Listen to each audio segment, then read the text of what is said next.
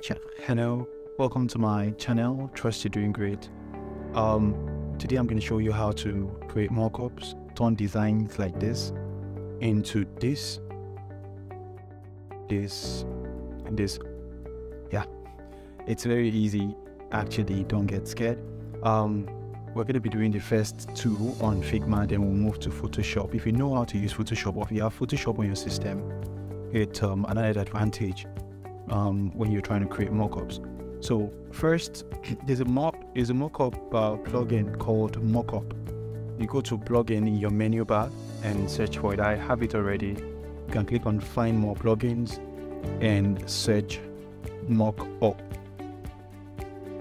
So they're going to present a lot of options to you. We have Clay Mockups 3D, we have Art Studios, we have Angle Mockups, and Mockup Mirror, a lot of mockup plugins.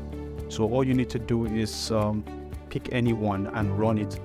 So what I have currently is mockup. and I'll open the, the library here. Um, so some of the mockups are free, while some you need to pay for them. So um, the free ones are actually good.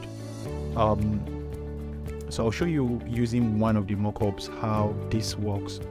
Um, they will show you a list of mockups. So I clicked on the first one. Okay, that is free. And what you need to look out for is this plus button. So this is where you're going to be adding your screen. There are some other mockups there that allows you to upload two screens, three screens and all of that, but I'm using this for example. You click on the plus, then they're going to tell you choose one layer um, uh, you want to place there basically. So you're going to come out here, select any layer of your choice. Once you do that, um, your design will be placed on the mockup. You crop it. Yeah, it's now placed on the mockup. So that is how it is on. Then you paste whatever you if you are if you're okay with the result, you just paste uh, in canvas. And once that is done, um, they will help you place your result on your screen. So um, it is now left for you to maybe add a background, put on whatever color um, that would make sense. Um, for example, I like to use the primary color for my design or secondary color um, as background so that it matches the mobile app I'm designing. So that is one way to get mockups done. Um, the second way is um, to get images on um, Figma uh, community and um, mockup images and replace their images with yours. So I'll show you an example quickly. Um, let me place this aside. Go to Figma community. Uh, in case you don't know how to do that, go back home, click on this arrow where you have your email. Then below it, you're going to see community. Once you do that, you can search for mockup. So you're going to see lots of images, some laptop mockups, MacBook mockups, mobile phone mockups, and all of that. Um, in my case here, I have one mockup I liked, so I had to open it. So once you see anyone you like, you just click open in Figma and you have it on your Figma board like this.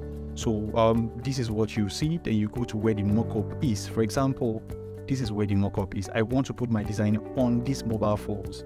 So um, I'll advise you first you export your screens as JPEG. Let me show you how that is done. So these are my four designs. Um, you select all four, select all four, and uh, come down here. Now I export as PNG.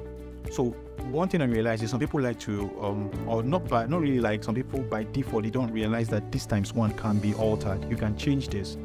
This times one is going to be a low quality design, trust me, when you do that. That's why some of your designs look um, pixelated when you're trying to post them online. It looks like, ah, my design is clearer than this, why is it looking this way? So to get a good and uh, a higher definition of your design, a better version of your design, choose times three or times four. That's my advice. Choose times three or times four, then export all four of them. Um, once you do that, it's going to take a little time. Okay, so you save it. So replace it. Thank you. So the four designs I've saved are good quality designs, and um, because I saved them um, times three of the original size, so they will come out really better. So you come back to uh, the images you got from um, the community. For example, I like this mobile phone. So what I would do is I'm going to pick my um, my saved my exported images, sorry. I'm going to paste them here. I'm to paste them here.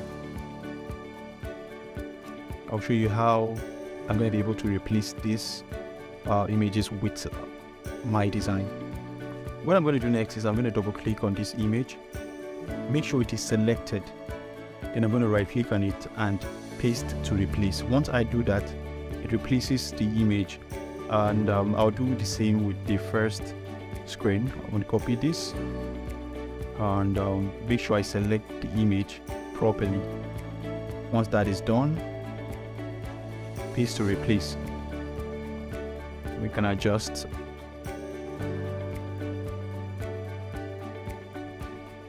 So, um, sorry, I was supposed to use this here.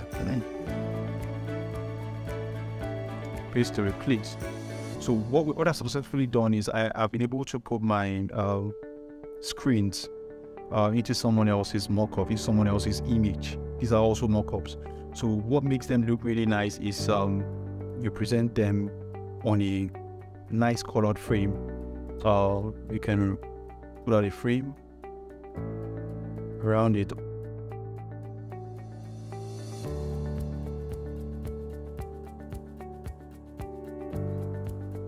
Right.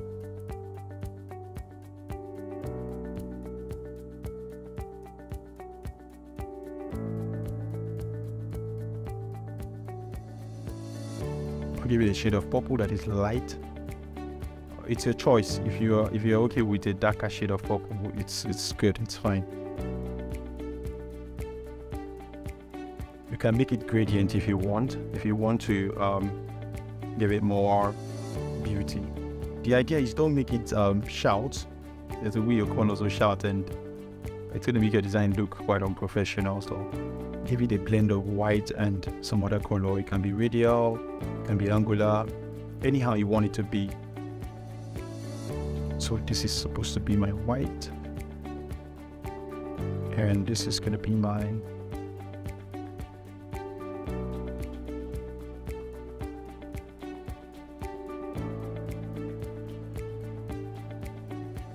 all right so once you're done with this um, make your images larger. The idea is for people to be able to see your design and appreciate it. So try to make your um, your design screens make them look uh, bigger and properly centralized. So that is the second method. First method is use a plugin. Second method is um, download mockup images from the community. All right so once you're done um, placing your designs on a background you're satisfied with, um, you can then go ahead to export. Um, and I, like I said earlier, when you're exporting, um, don't export times one. Always make sure you check that.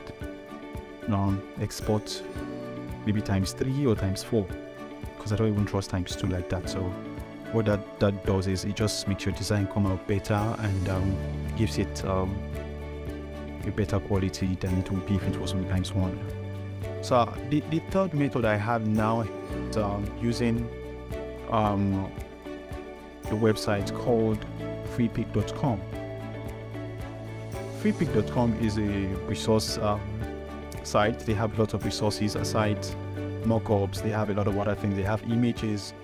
Um, they have amazing illustrations as well. So this is where you can get your mockup if you know how to use Photoshop or you have Photoshop and you're not satisfied with what um, Figma presents to you. They have lots of amazing designs there.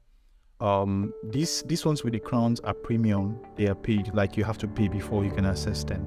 So I'm going to use this first one, for example. So this is um, it. So look out for designs that are PSD, Photoshop designs. It will be written here, file type PSD.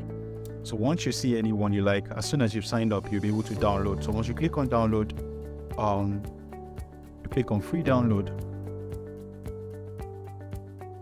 And I think they let you download 10 free resource daily, free resource. So you can download only 10 times.